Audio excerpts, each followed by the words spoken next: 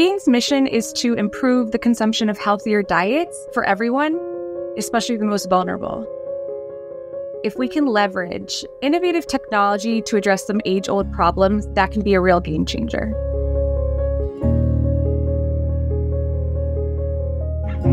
Global Alliance for Improved Nutrition works at nearly every stage of transforming food systems by improving the availability, the affordability, the desirability, and sustainability of nutritious and safe foods.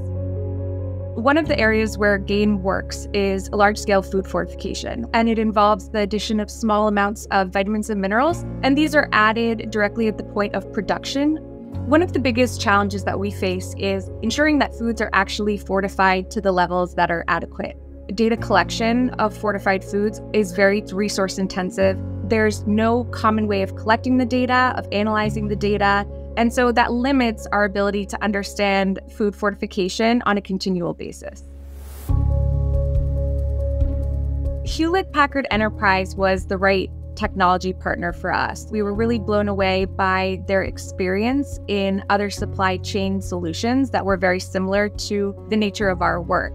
The real innovation that HPE Services is helping us with is to enable the sharing across sectors of important fortification quality data in a secure and trusted way. We are piloting in Nigeria, Bangladesh, and India.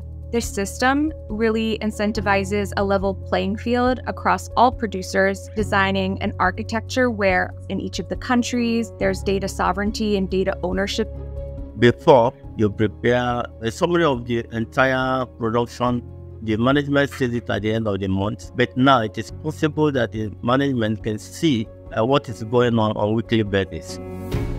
Having this monitoring system built by HP Services, you're getting real time data, real time analysis, and insights so we can have a more comprehensive view and pinpoint where challenges are occurring. Before products hit the market, this system does enable time cost, and overall resource efficiencies.